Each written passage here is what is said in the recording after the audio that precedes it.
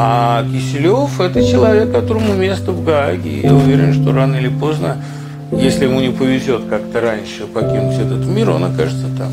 А Киселев – это человек, которому место в Гааге. Я уверен, что рано или поздно, если ему не повезет как-то раньше покинуть этот мир, он окажется там. А Киселев – это человек, которому место в Гааге. Я уверен, что рано или поздно, если ему не повезет как-то раньше покинуть этот мир, он окажется там.